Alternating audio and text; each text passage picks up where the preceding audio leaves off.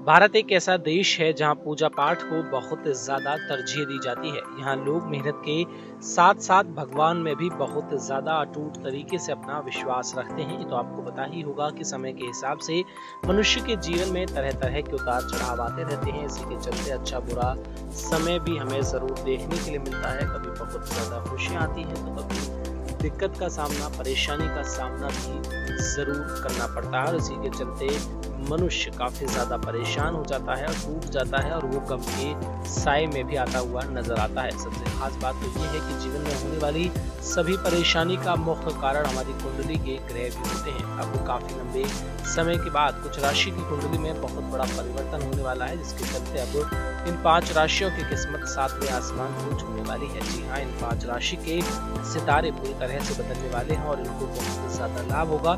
इस शुभ योग में इन राशि को बहुत बड़ा बदलाव भी होगा, मन आपका काफ़ी ज़्यादा प्रसन्न रहेगा। परिवार के साथ यादगार पल गुजारने में आप काफ़ी ज़्यादा कामयाब हो जाएँगे, वहीं आपकी आर्थिक स्थिति में भी सुधार आने के पूरे चांस बनते हुए दिखाई पड़ रहे हैं। ज़िंदगी में किसी भी बात की कोई भी कमी नहीं रहेगी।